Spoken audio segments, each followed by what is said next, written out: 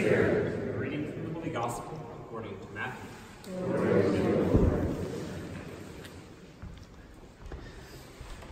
After six days, Jesus took Peter, James, and John, his brother, and led them up this high mountain by themselves. And he was transfigured before them. His face shone like the sun, and his clothes became white as light. And behold, Moses and Elijah appeared to them, conversing with him.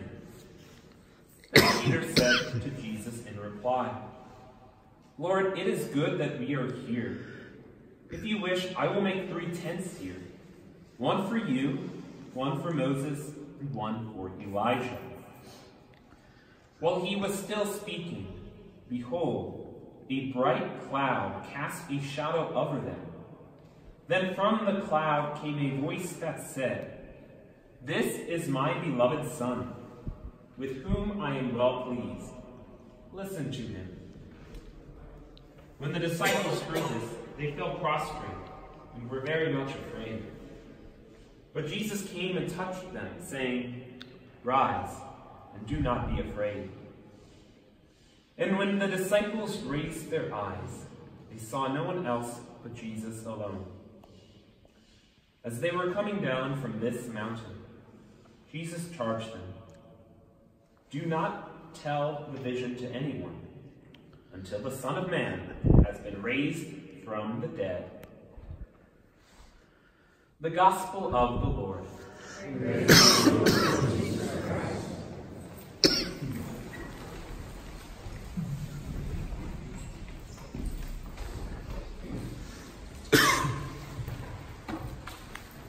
Help but uh, proclaim this gospel and hear it at the very spot where the transfiguration happened.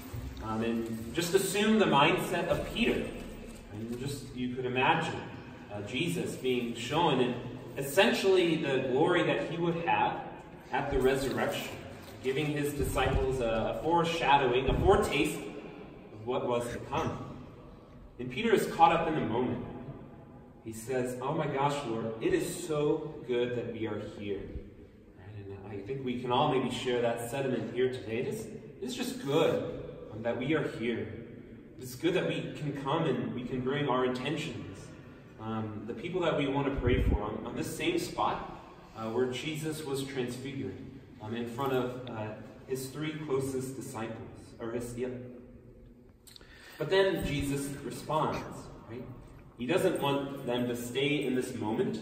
Right? what he's really doing is he's preparing them for Calvary. He's preparing them for the cross. And so he's giving them this great moment of consolation um, so that they will have the strength necessary um, to see him die and then eventually to go out uh, and uh, go to their own martyrdom, with the exception of John. Very much that's uh, one of the things that is so beautiful about a pilgrimage is it it's a, it's a great time of consolation where you just step back from uh, the busyness of the world and all of our earthly cares and concerns and we can just focus uh, and be filled up uh, with that same spirit uh, that Jesus filled up his disciples at the transfiguration.